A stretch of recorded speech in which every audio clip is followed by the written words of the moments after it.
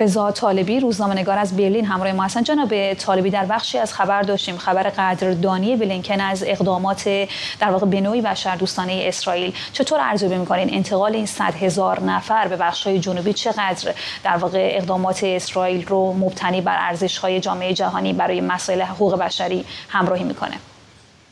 سلام و عرض ادب خدمت شما بینندگان محترم. قبل از اینکه به سوالتون بپردازم می‌خواستم این مطلب رو بگم که سارا سوزان سرندون یک مطلبی رو منتشر کرده بود که در اون می‌گفت که در دوران جنگ ویتنام یک نفر یک شم رو گرفته بود و در طول جنگ ویتنام مقابل کاخ سفید می ایستاد و اعتراض می‌کرد. خبرنگار ازش می‌پرسه که آیا این اعتراض شما چیزی رو تغییر میده؟ این میگی که من برای تغییر دادن چیزی نیومدم برای این اومدم بگم که ما تغییر نمی کنیم متاسفانه در جامعه امروز خاور میانه کشدارهایی که جمهوری اسلامی انجام میده یا کشدارهایی که مردم افغانستان سوریه لبنان و این کشدارهایی که در غزه صورت می‌گیره یک ارزش گذاری واحد نداره و خون کودکانی که در اونجا کشته میشه در یک ارزش گذاری واحد سنجیده نمیشه. حال اینکه چه کودک اسرائیلی چه کودک فلسطینی و چه کودکی سوری و ایرانی همه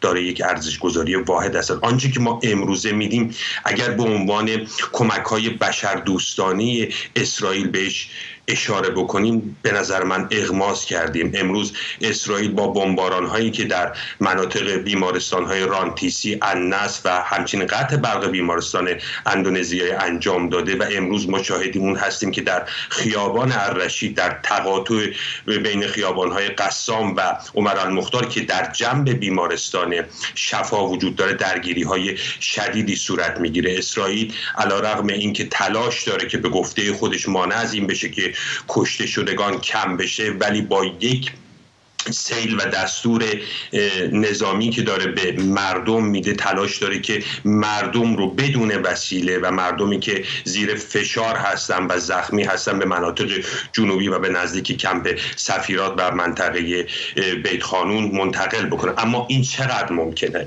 به نظر من امکان نداره که در این شرایط بمباران و در شرایطی که هنوز به گفته اسرائیل تونل های حماس سالم هست و حماس داره به مبارزه در اونجا به اصطلاح ادامه میده و اسرائیل تلاش داره که مانع از این بشه که نیروهای حماس بتوانند آزادانه در منطقه تردد بکنن در یک سو هم تلاش رو بر این داره که منطقه رو خالی از سکنه بکنه. آنچه که مشخصه به نظر من تلاشایی که امروز از سوی جامعه جهانی برای حفظ جان کسانی که غیر مسلح هستند انجام شده کافی نبوده و تقریبا در این شرایط مهاجرت به جنوب هم تقریبا سی درصد از مردمی که مهاجرت کردن در منطقه جنوب جنوبی کشته شده. آنچه که مشخص اسرائیل با محاصره کردن غزه و به ویژه بیمارستان شفا با آنچه که به معنای قطع کردن غزه شمالی و جنوبی ارتباطشون با هم بوده و رسیده. ما شاهد این خواهیم بود که این جنگی که در اونجا داره صورت می‌گیره رفته رفته به یک جنگ پارتیزانی و گریلاری تبدیل خواهد شد که امیدوار هست اسرائیل با از مردن حماس بتواند به این مسئله و بغرنج پایان بده.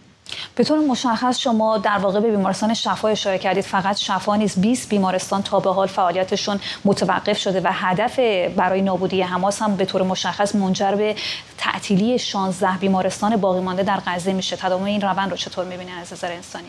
خب بله خب این یک روند غیر انسانی است و ما نباید یک استاندارد دوگانه رو داشته باشیم. باید اسرائیل مد نظر داشته باشه که در این جنگی که انجام میده آیا واقعا در این تونل هایی که اسرائیل میگه در زیر این بیمارستان ها وجود دارد. رهبران حماس هنوز زندگی می‌کنه من فکر نمی کنم یحیی سنوار یا محمد از زیف کماکان در اون منطقه باشد و بخوام با اسرائیل در اون شرایط مبارزه بکنه. آنچه که مشخص است این فاجعه انسانی فقط محدود به این بیمارستان ها نمیشه. امروزه برق بیمارستان اندونزیایی قطع شده و برق بیمارستان شفا هم با این هجومی که داره انجام میشه تا چقدر کفایت خواهد کرد مشخص نیست. شرایط انسانی جدا از مسائل بهداشتی و جسدهایی که در زیر آوار مونده هنوز از زیر آوار بیرون نیومده و بیماری های واگیرداری که الان در فصل سرما مشاهدون شاید کمتر باشیم ولی رفته رفته تمام منطقه رو در بر خواهد گرفت. اسرائیل هیچ تدبیری برای این مسئله نداره و متاسفانه حماس هم با گرو ادامه گروگانگیری